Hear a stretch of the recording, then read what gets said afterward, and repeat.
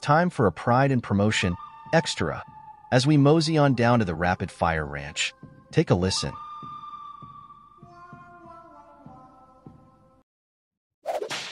Hey, everybody, this is Joe Federico of J Federico. And, oh, sorry, uh, sorry. Yeah. Take two. Three, two, one.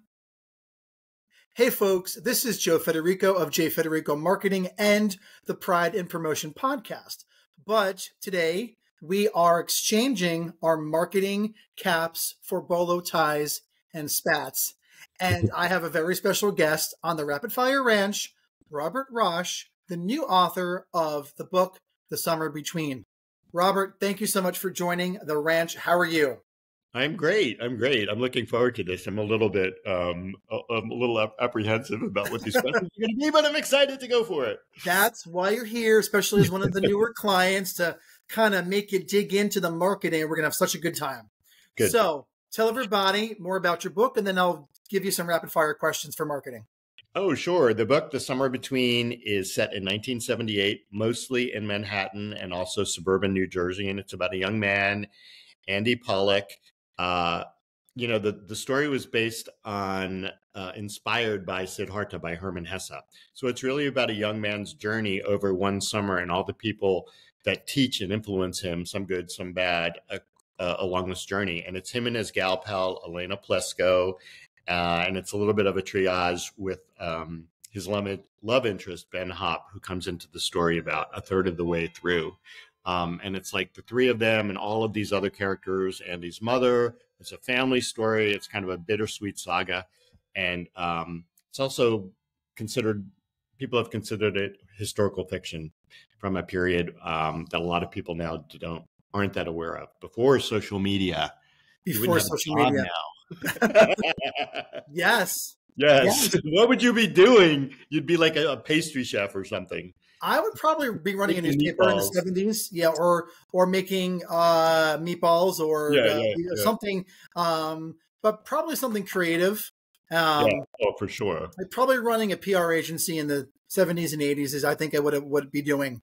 If and I were writing your great books as well. Yeah, which is I, you know that is a can be a biatch sometimes. well worth it, but yeah, you know. Um, yeah. So so, but congratulations. Thank and you. I'm so honored to be working with you and have you on the podcast and nice. and to and to pick your brain because now this is really important to, as we had said, trade in our marketing caps for bolo ties and some some spats. So okay. here we go. Four questions, but okay. here we go. You ready? Mm-hmm. If you could market a new flavor of ice cream that were to come out in the world of your book, The Summer Between, Ooh. what would it be? And which platform would you market that on? Very interesting. What current platform or what platform in the 70s? What current platform? So we're doing uh, yeah, yeah, yeah. time travel here. yeah. So I'm not going to go with poppers because I hate them. So, um, but there's a little bit about that in the book. Um, I'm trying to think from 19, from the 70s, what was in there? Probably something like, I don't know, like Polynesian or Hawaiian flavored ice cream, um, which was really big. Like in all the research I did and all, like Hawaii was like big because it was still kind of new as yeah. a state in 1959, I think it was. Um, yeah, so let's go with um, Polynesian Hawaiian ice cream. And what platform would it go on? Well, I think Instagram is probably the one that's most used now, or TikTok, which I'm not that familiar with. But yeah. okay, so I can definitely run with you this nostalgic marketing campaign of retro 1970s Hawaiian, you know, tropical ice cream. Yeah, yeah. Restaurant with the book. and then we can run this whole different campaign together. That'd be awesome. And yeah, also okay. sounds delicious. Sounds yeah. good. Coconutty and pineapple and all that good stuff. Okay. Okay. Well, sign me up. We could talk like about this offline. sunrise colors, that whole 70s vibe, you know, sunsets, yes. all of that. Like Three's Company, Ask Music. Oh, and... Three's Company. Yeah, yeah, yeah. Okay. Yeah. Well, I'm down. Okay. Number two, speaking of Instagram, imagine Instagram was a person at a party.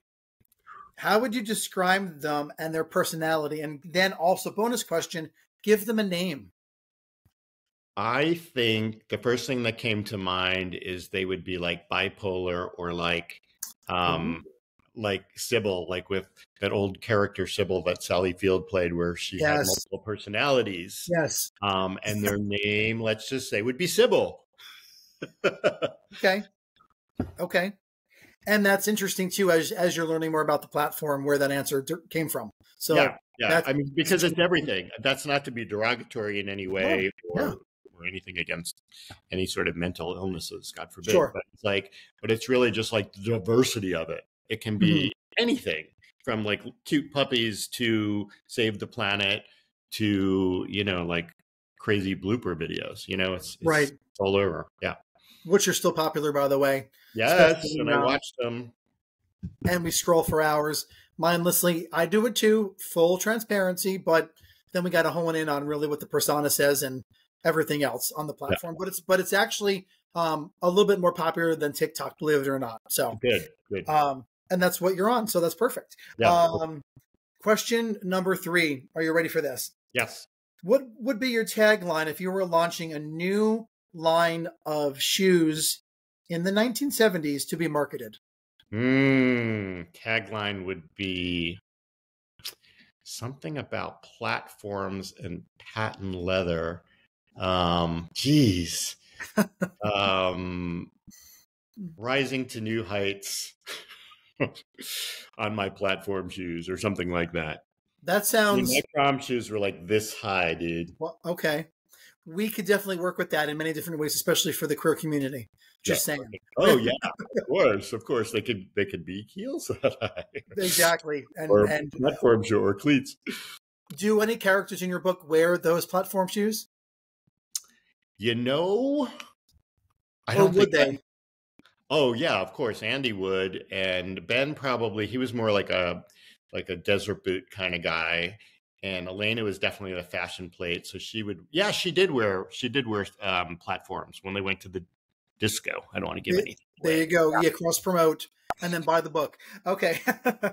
Last but not least, which fictional character from a TV show or a book, you can use your own, the summer between, would make the best marketing guru and why? Ah, TV character from the seventies. Mm hmm. Hmm.